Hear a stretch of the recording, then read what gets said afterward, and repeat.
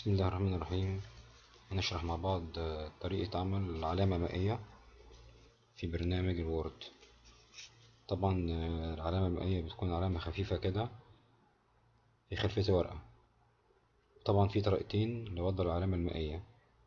إما هي text يعني نص إما تكون عبارة عن صورة. نرفع الإضاءة شوية عشان آه، نشوف أحسن. طبعا اولا بالنسبة لل text. النص. نختار page layout. بعد كده watermark حرف ال A ده الأحمر ندوس عليه كده. نختار custom watermark طبعا هنا إيه؟ في picture watermark اللي هي الصورة وال text watermark اللي هي الايه النص. أنا هختار ال text. قصاد كلمة text. الكلمة دي كده. هنظللها نكتب الكلمة اللي إحنا عايزينها. سواء عربي أو إنجليزي. مثلا نكتب كلمة good بالإنجليزي. وبعد كده ندوس أوكي.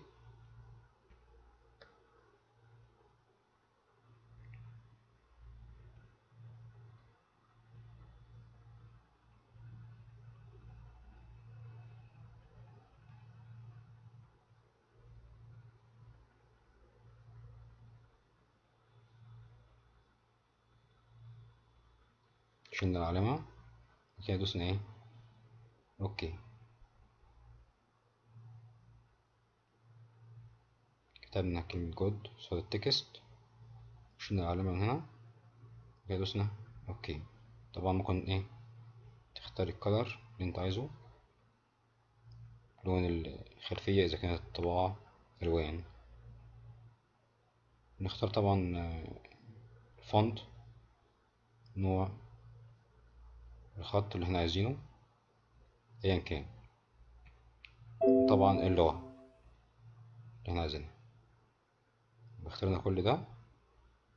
طبعا يبقى كده إيه ندوس OK. عشان تطلع كلمة good في الخلفية كده. نصغر شوية عشان نشوفها. اهي كلمة good دي بقى إيه watermark أو علامة مائية بتظهر في كل لو عملت مثلا عشرة أو خمستاشر ورقة بتكون خلفية في عدد كل الأوراق. يعني مثلا دوست دوست control enter عشان أعمل ورقة تانية. أهي. ظهرت في الورقتين. لو عملت خمسين ورقة بتظهر في كل الأوراق. علامة مائية ثابتة يعني. سواء هعمل ملزمة أو هعمل كتاب. طيب. عاوزين نشيل العلامة المائية وندوس على watermark وريموف ووتر مارك ضغطة واحدة كده. كده اختفت.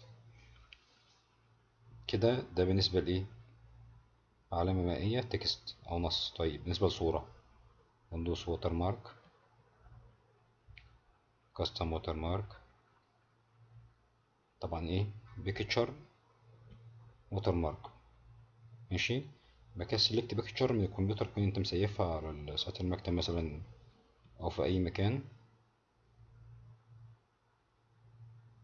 دي يفتح معاك طبعا. صورة زي كده مثلا. عليها insert. بعد كده أوكي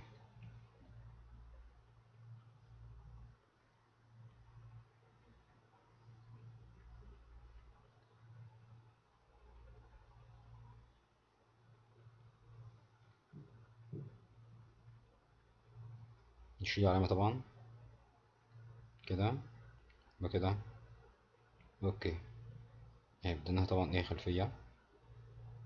في الورقة. طبعا برضو لو عملنا كذا ورقة هتكون برضو خلفية في أكتر من ورقة. لو عملنا عشر ورقات هتكون الخلفية أيضا إيه؟ في كل الأوراق.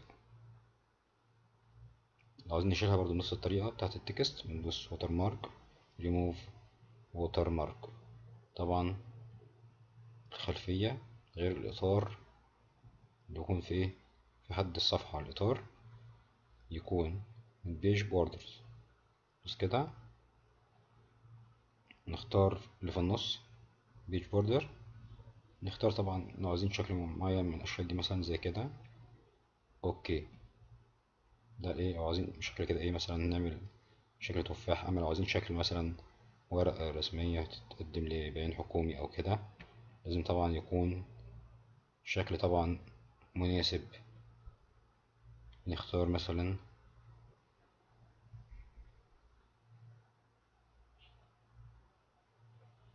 مثلا شكل زي ده.